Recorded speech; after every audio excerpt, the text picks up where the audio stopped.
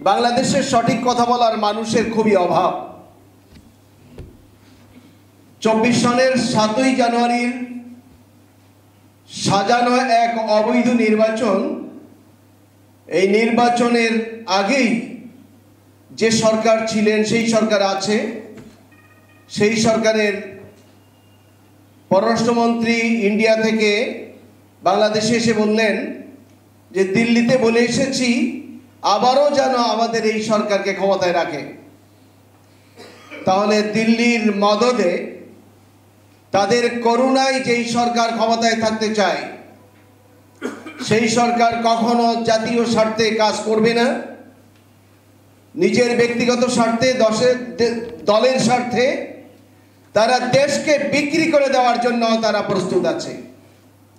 সে কারণে শুধু ইন্ডিয়া নয় আরও আরও যে রাষ্ট্রগুলো, চীন আছে, রাশিয়া আছে, পৃথিবী এখন দুইটি মেরুতে বিভক্ত।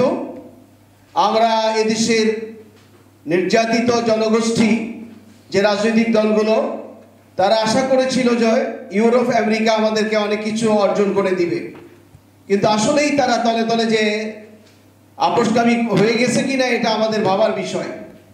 বাংলাদেশের যে বিষয়টি নিয়ে আজকে এখানে অবতরণ হয়েছে, এখানে যে আয়োজন হয়েছে, আমরা একত্রিত হয়েছি। এই বিষয়টি অত্যন্ত সেন্সিটিভ বিষয়।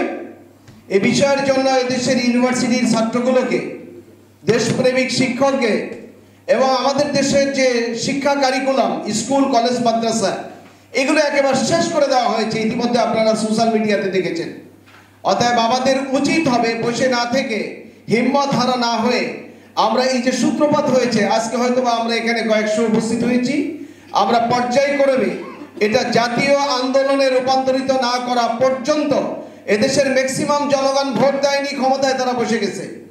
বিকাল তিনটার সময় সাতাশ পার্সেন্টের কথা বলা হলো। চারটের সময় ভোট শেষ হয়ে গেল। তারপরে পাশের থেকে বলে দেওয়ার পরে বলা হলো যে বিয়াল্লিশ পার্সেন্ট ভোট কাস্ট হয়েছে। অথচ বাংলাদেশের বিবেকবান সাংবাদিক যারা, তারা বলেছে যে পাঁচ থেকে সাত পার্সেন্ট কোথাও কোথাও দশ পার্সেন্টের উপরে ভোট কাস্ট হয়নি। তাহলে বাংলাদেশে যদি দশ বিশ পার্সেন্ট জনগণের ভোটের মাধ্যমে যারা ক্ষমতায় থাকে, তাহলে আশি থেকে নব্বই পার্সেন্ট জনগণ তো ভোট দেয়নি, তাহলে নৈতিকতার দিক থেকে এই সরকার ক্ষমতায় থাকতে পারে না।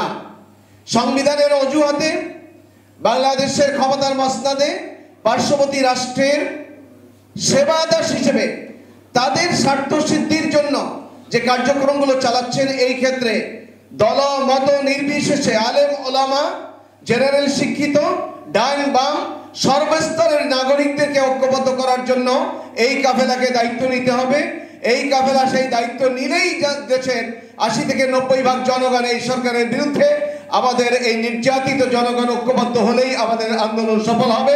সেই সেই আশা ব্যক্ত করে আমি আমার অসমাপ্ত কথা এখানে শেষ করি। হাদামা আইন্দি মুমিন আল্লাহ আলাইহি তাওয়াক্কালতু আলাইহি ওয়া আসসালামু আলাইকুম